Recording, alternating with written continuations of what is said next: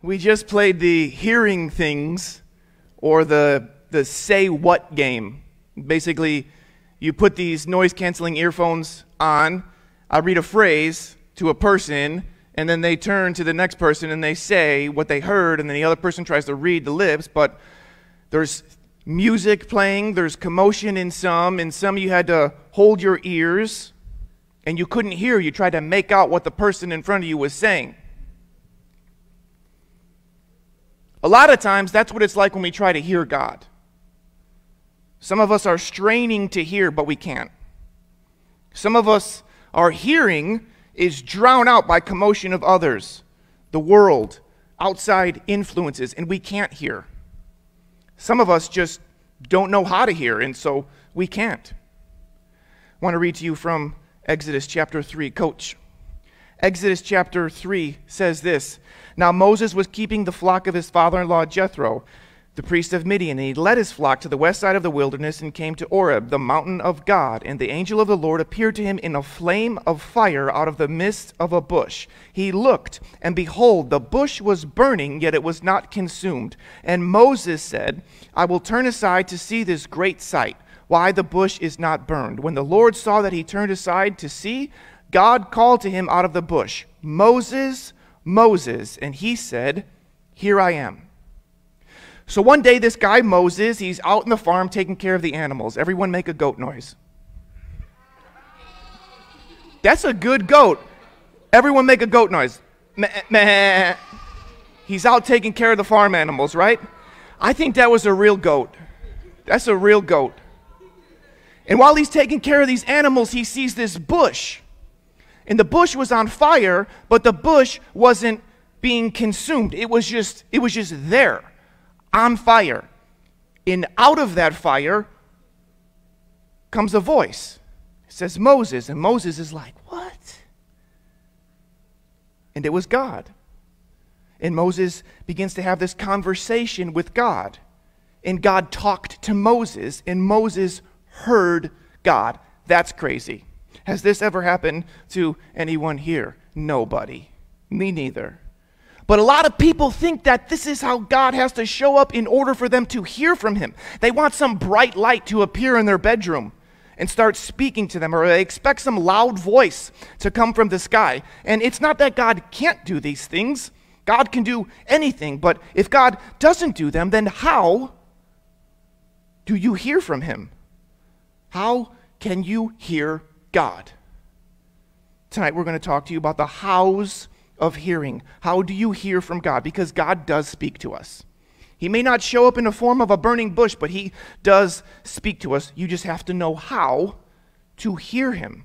And we've tried to make this as easy as possible. The first way you hear God, coach, it's not, not through coach, but it's coach slide. Holy Spirit. Everyone say Holy Spirit. The first how in the house to hear God is Holy Spirit. Jesus says, Coach, next slide. In John 14, 26, the Helper, the Holy Spirit, will teach you things. He'll help you remember things. He'll guide you, he'll counsel you, he'll comfort you. But how can you hear him? It's kind of like this. It's kind of like this. You know that little voice in your head that tells you what to do and what not to do? That thing we call a, a conscience? Everyone say conscience. The Holy Spirit is kind of like that little voice. So when you hear that little voice tell you to do something or say something or go somewhere, take what that little voice says and line it up with God's word and God's character. If what that little voice tells you to do produces love, joy, peace, patience, kindness, goodness, gentleness, faithfulness, and self control, that's most likely God speaking to you. If that little voice is telling you to do bad things, mean things, or hurtful things, don't listen to it. That's not from God. Another way to describe the Holy Spirit and how he speaks through you is through heaviness. Everyone say heaviness. Heaviness or promptings. It's like this Who loves Christmas? Who, eh, seriously, right? Especially like the night before. You know that feeling you get inside when Christmas is coming? Especially the night before, that excitement, that restlessness, that, oh my gosh, I can't sleep because Christmas is tomorrow and I'm going to get stuff. Or you ever have a test or a project due that you weren't prepared for and you, you weren't ready because you didn't do your homework and you really can't do anything else. You especially can't sleep because it's constantly on your mind, like you keep thinking about it over and over and over. That's kind of how it is with the Holy Spirit, that feeling of heaviness this constant thinking of a particular place or person or thing. It's kind of like carrying a heavy backpack. You just feel something there, and you can't rest until you do what he's telling you to do. Check this out. True story. I was at this church one time. I slept over by my parents' house, and we went to this church. I'd never been to this church, but I went there and I sat. And they were playing this worship song, and I could tell like there was this homeless dude behind me, and he smelled. Like that's not a joke, but like he smelled. I could I could smell him from behind me. And um, throughout the whole service, like I feel this heaviness where the Holy Spirit was telling me, "Hey, give this guy some money," and I'm like, I'm like, what? I don't even I don't I don't I don't even like have money to give this guy, but it was just this heaviness, this give this guy money, give this money. I was like, I can't, I don't want to. So I'm wrestling the whole service with whether or not I should give this guy money.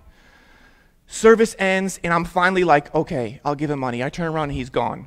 So I'm like, well, whatever. I'm, I'm, I'm not, I'm not going to give money.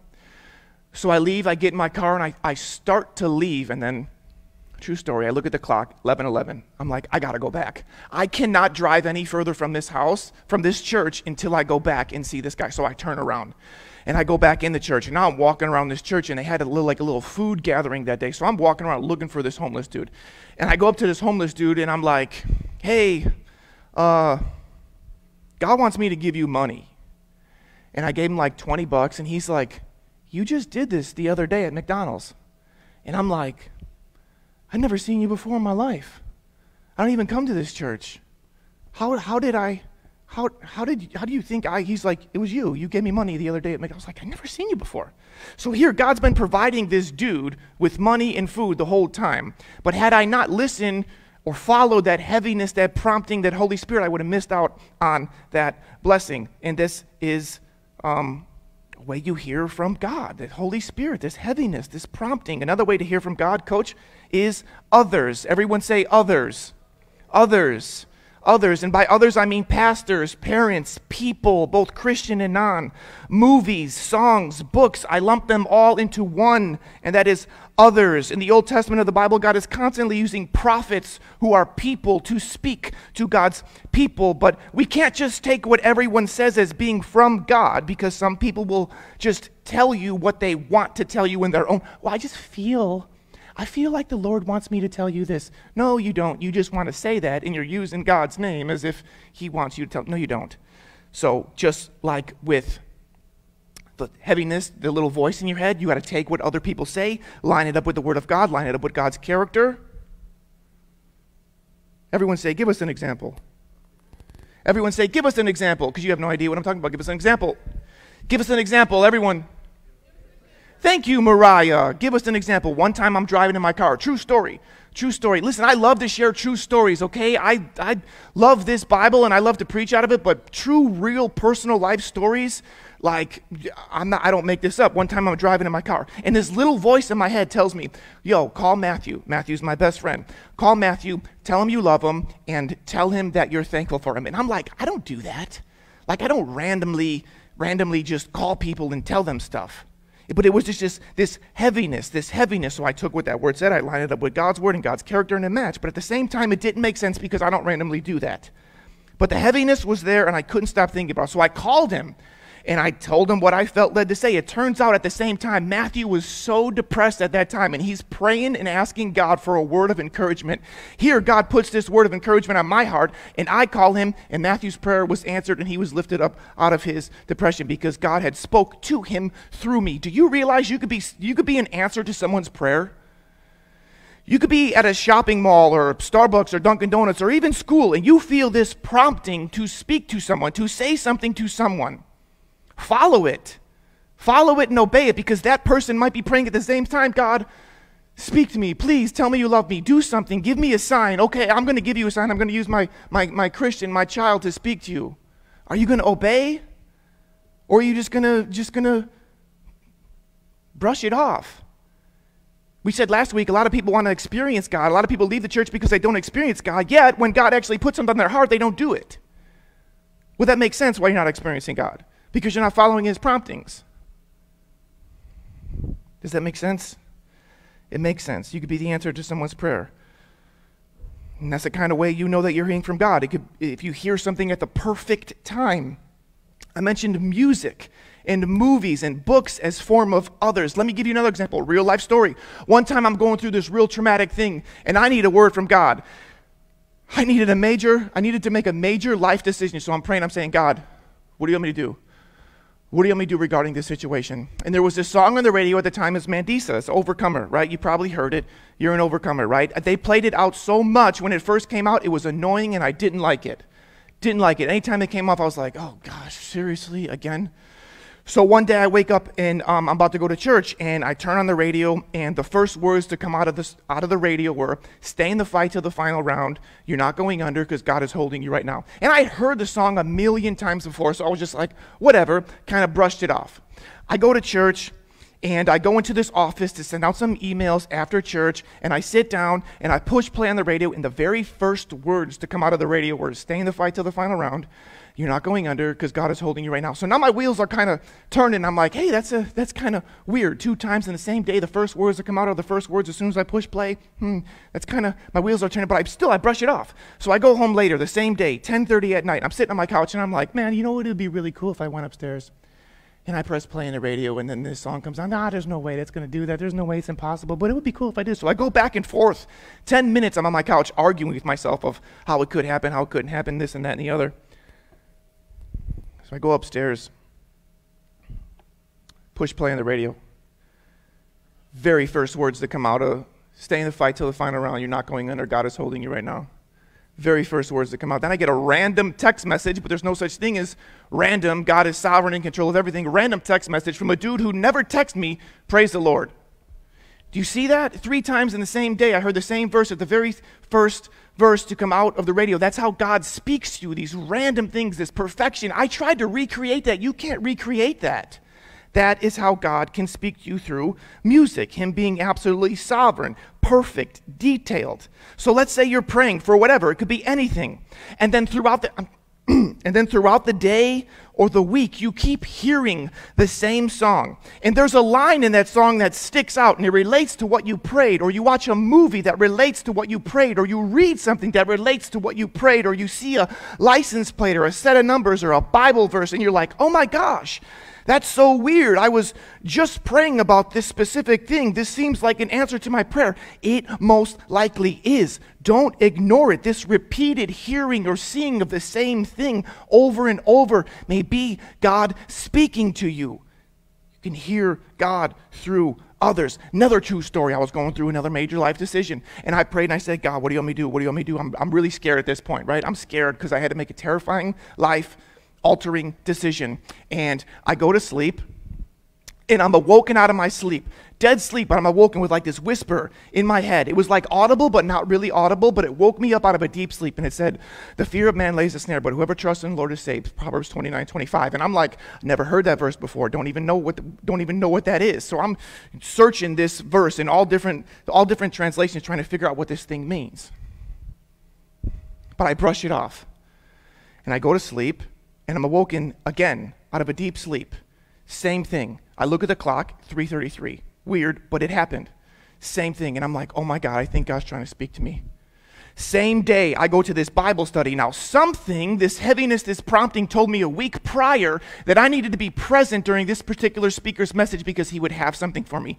In this speaker's message, he referenced Proverbs 29 25. The fear of man lays a snare, but whoever trusts in the Lord is safe. Three times in the same day, I heard the same verse, and that was exactly what I was praying for guidance. And what God was telling me to do is exactly what I needed to do. This repetition of things, that's how you know that God is speaking to you. Next slide, true story. Watch this. One time I felt like um, I needed to be baptized. So I prayed and I said, God, give me a set of numbers in the morning. Whatever set of numbers is in the morning, that's the day I'll get baptized. I was a baby Christian, so I still really didn't even know how to pray or what to pray, but I asked God for a sign. I said, give me this set of numbers.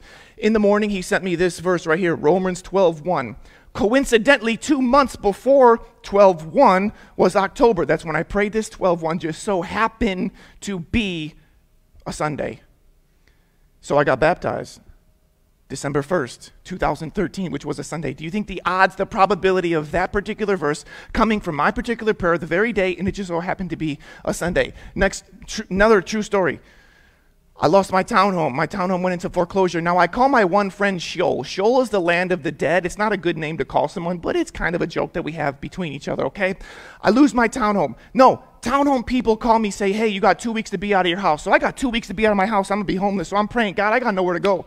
I got nowhere to go. Where am I gonna live, right? Where am I gonna live? The same day I pray that prayer, this dude, his name's Alex, he calls me from Florida. He says, Hey, I'm going to be in Florida for a while. Would you be willing to live in my condo while I'm down here? And I'm like, What? He's like, Yeah. I'm like, Who told you? He's like, Who told me what? I'm like, How do you know? How do I know what? I'm like, Dude, I have to be out of my house in two weeks, and you just so happened to call me at this day when I prayed this prayer and asked me if I wanted to live in your condo? Not a coincidence. It's providence, God incidents. So I'm able to hear God. So here, why this verse is up there. I'm praying, God, do you want me to live here? Because that's how stupid I am, right? That's how stupid we all can be. God provides something and we ask him if it's really from him. So, God, do you really, hey, God, if you really want me to move in his condo, can you send me a Bible verse in the morning and kind of like direct me? I get this in the, in, in the morning. In Sheol, I call my friend Alex Sheol, in Sheol, where you are going, where you are going, you're going to live in his condo. That's, that's, I, I, heard from God. And this is another way. A third way you can hear from God is through the Word. Everyone say through the Word. Through the Word. Now, some people will say that the Bible is written by humans, and therefore it's tainted, or it's not really the Word of God, but rather human opinions or ideology. Let me get one volunteer. One volunteer. One high schooler. Come on up here, Luis. Come on. Come on. No, you already raised your hand, and we're on a time limit. Come on up here. You're just going to say three words. You're just going to say three words. Come on up here. Don't be scared.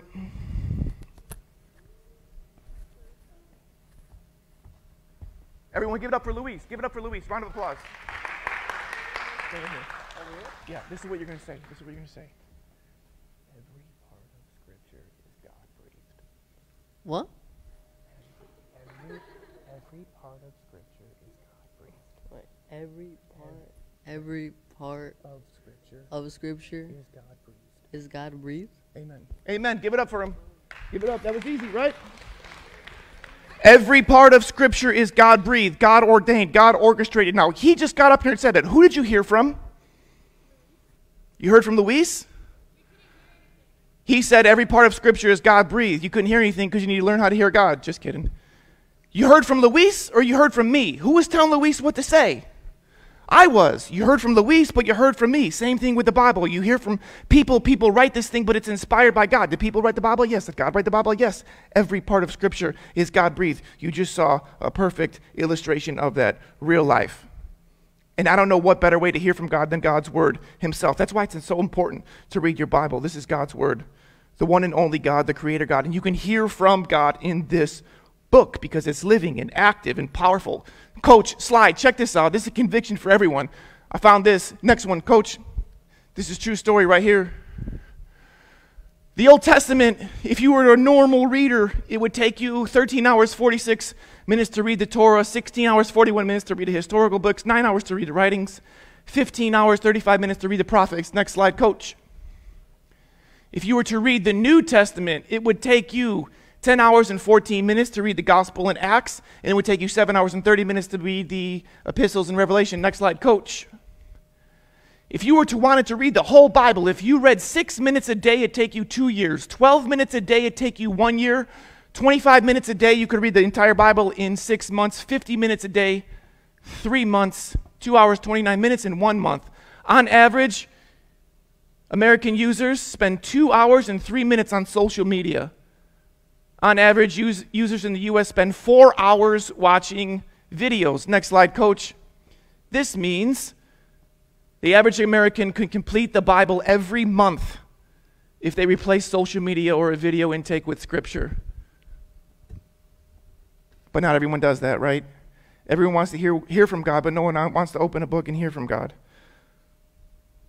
So you can hear from God through the Holy Spirit, that little voice, that heaviness, those urges or promptings. You can hear from God through others, people, songs, movies. You can hear from God through His Word. And lastly, you can hear from God through situations. Everyone say situations situations, life circumstances. There's a story in the Bible of this guy named Balaam in Numbers.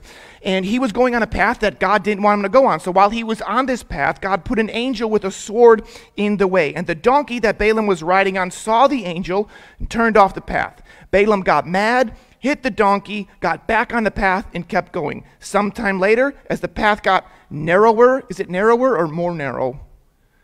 As it got more narrower, Narrower, God put an angel with a sword in the path. The donkey saw it, tried to turn away, and hit the wall because the path was narrow. Balaam got mad, hit the donkey, got back on the path, and kept going. Now, the path was even more narrow. There was nowhere to turn. So, when God again put an angel with a sword in the way, the donkey just laid down because there was no return. Balaam, of course, got mad, hit the donkey again, and God made the donkey talk.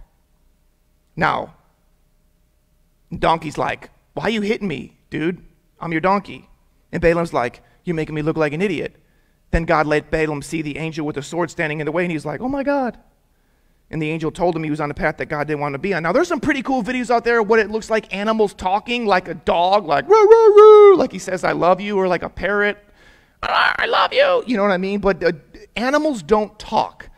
I don't want us to get so caught up in God making the animal talk that we lose sight of the situation or circumstance that Balaam was on with God making the path more narrow and more narrow. It's like this let's say you're going to go rob a bank and you're like, God, I'm going to go rob this bank because I want to give money to the church.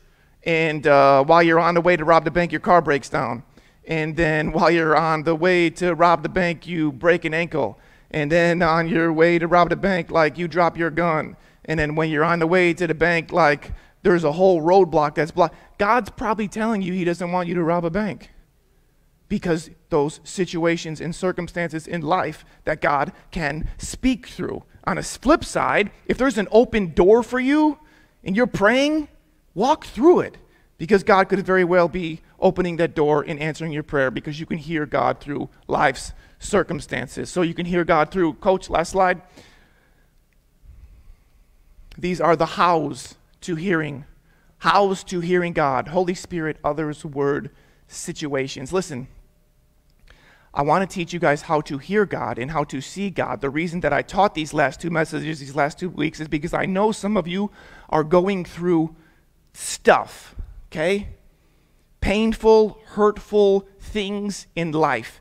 And if you have the ability to see and hear God. Through that stuff, you can elevate above it. And those things, that pain, that suffering, that, that stuff that you're in can be the most joyous time that you're in if you have the ability to see and hear God. But you just have to practice what we're teaching. You can't just hear the message and leave. I know this firsthand because the things that I have gone through and I learned this stuff, and the stuff that I was going through seemed like nothing because I was able to see and hear God in that stuff. That's why I'm teaching you guys this stuff. Whether or not you want to listen, I don't know. But this is, I mean, aside from hearing and seeing God is absolutely the coolest thing ever in the world because there's nothing that compares to it. The stuff that you guys are going through, if you're able to apply this to your life, phew, you'd be one of those crazy, radical, on fire Christians. So let's pray. Let's close in prayer. God, open their ears so that they hear you. Open their hearts. Open their minds. Open their eyes that they see you. Draw them closer to you, to your Son. Sanctify them, conform them, convict them.